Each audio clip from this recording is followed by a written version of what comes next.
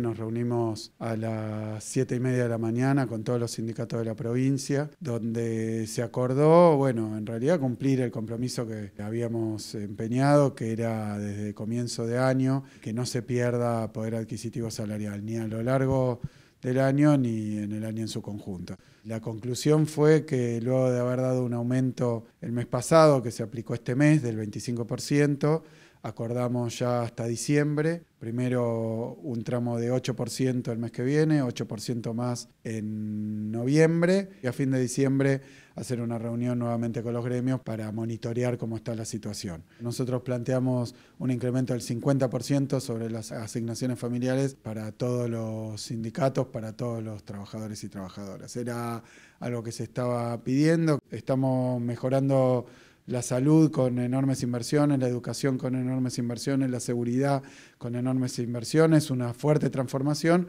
pero también este, reconocerle a los trabajadores y trabajadoras de la provincia su enorme esfuerzo. Nosotros nos encontramos con una mesa paritaria donde ambos lados de la mesa somos compañeros y compañeras, ¿no? y esto se ve reflejado en la articulación y en la velocidad de, digamos, de cómo se fueron realizando, cómo se fue gestando este incremento salarial que en esta coyuntura es muy significativo, como así también los, el 50% del incremento de las asignaciones familiares.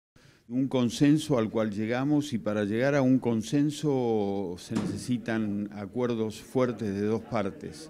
Así que aquí estamos con, quien conduce la Federación de Educadores Bonaerenses, junto con otros gremios, por supuesto. Y entonces también hay una voluntad política que encarna el gobernador y una decisión política de, un frente que, exige, pero que también comprende cabalmente la situación. el resultado no podía ser otro.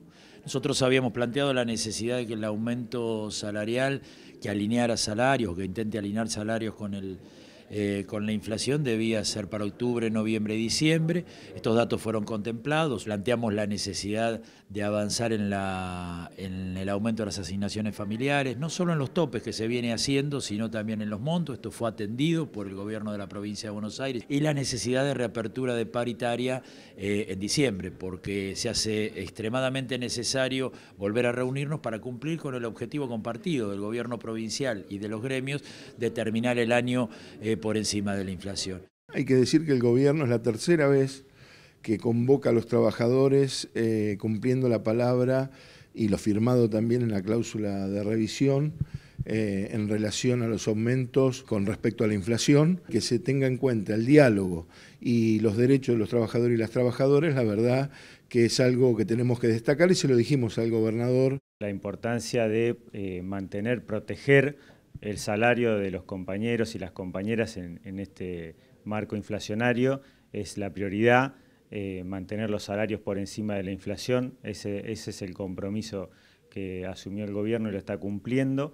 Eh, y después la importancia de mantener la paritaria activa. Un buen anuncio, anuncio que estaban esperando los trabajadores de la, de la educación y después de un arduo trabajo eh, durante toda la semana y que culminó en el día de ayer para llegar a un acuerdo y esto es una prueba más que es un gobierno de diálogo y pero sobre todo de, de escucha.